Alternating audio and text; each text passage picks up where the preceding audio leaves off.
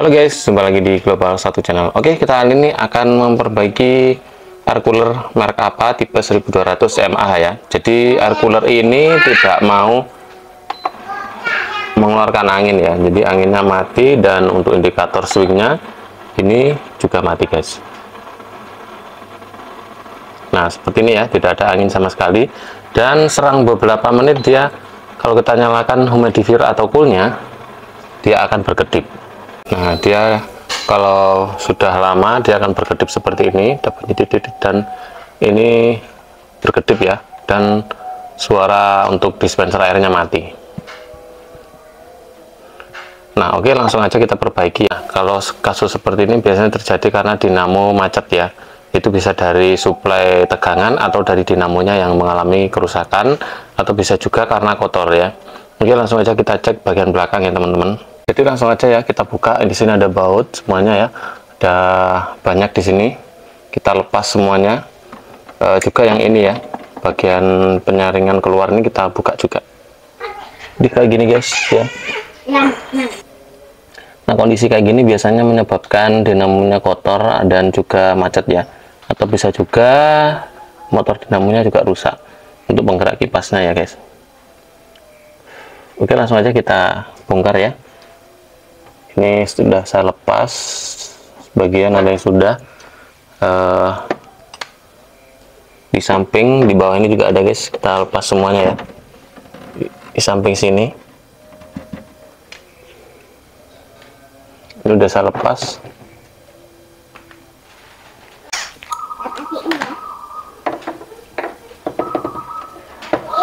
Nah kita congkel dulu bagian atas. Ada pengitnya ya kita congkel ya kayak gini ya. Kita congkel terus sebelah sana juga sama dicongkel ya.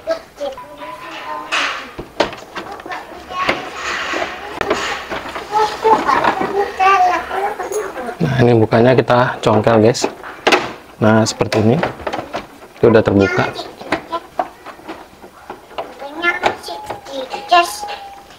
Nah seperti ini ya. Nah ini guys ya kondisinya guys buset dah kayak gini ini nggak pernah dibersihkan ya. Jadi efek tidak pernah dibersihkan jadinya kayak gini ya.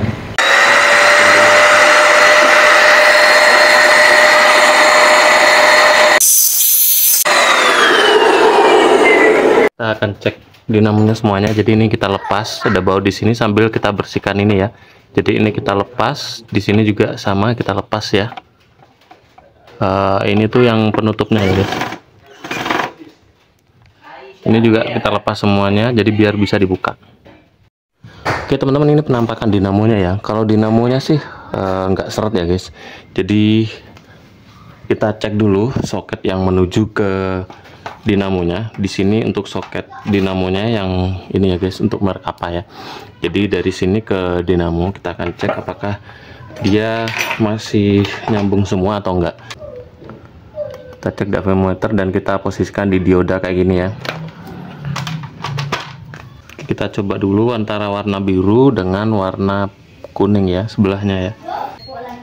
Nah jadi e, biru dengan kuning terhubung kuning dengan sebelahnya abu-abu terhubung dan ini dengan hitam tidak terhubung guys ya. Terus biru dengan abu-abu. Oh biru dengan abu-abu itu terhubung ya.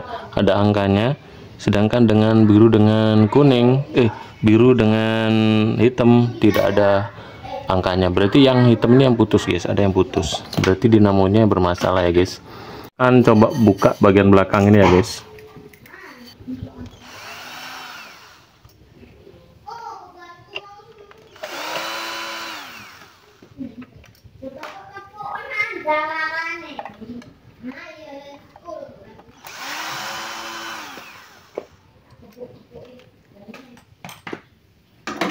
Oke guys sudah lepas. Kita coba buka ini ya.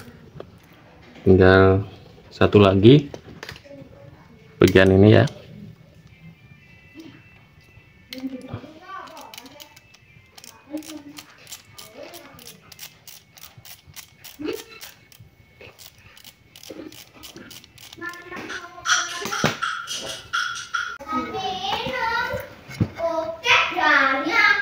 Nah, kelihatan bagian dalamnya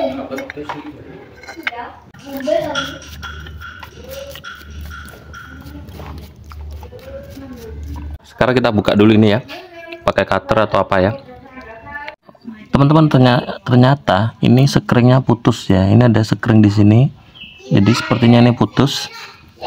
Jadi ini kita akan jumper langsung. Jadi nggak pakai ini ya. Langsung kita sambung aja yang ini. Kita sambung kayak gini ya. Nah seperti itu. Nah jadi yang sekring tadi kita buang ya. Yang ini langsung aja kita buang jadi ini kita langsung terus kita tutup. Kita tutup pakai solasi bakar ya ini guys. Oke sekarang kita akan cek apakah dia udah nyambung ya uh, antar pinnya ini. Sekarang kita cek apakah ada pergerakan angka di sini ya. Nah, lihat teman-teman ya uh, yang pojok ini hitam sekarang ada pergerakan angkanya. Nah, 329 ohm berarti itu udah ada konektivitas. Jadi semuanya udah terhubung semuanya guys. Sini ya kita tutup dengan kabel tes. Ya sekarang kita tutup lagi. Teman-teman sekarang kita cek dulu apakah dia berfungsi ya apakah udah muter lagi dinamonya. Nah seperti ini ya. Kita nyalakan. Oke. Udah nyala ya guys. Udah muter dinamonya.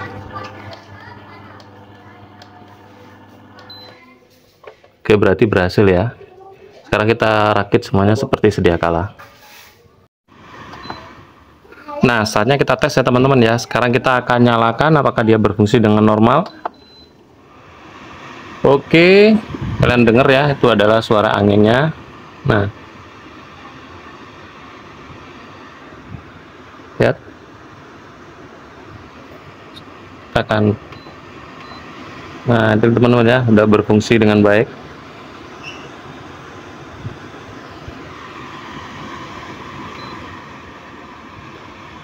dan sudah nggak mati lagi. Oke itu tadi tutorial cara memperbaiki air cooler merek apa ya? 1200 mAh itu mati total untuk dinamonya ya. Jadi eh, tidak berputar anginnya atau tidak keluar ya. Semoga bermanfaat. Jangan lupa di like share subscribe. Wassalamualaikum warahmatullahi wabarakatuh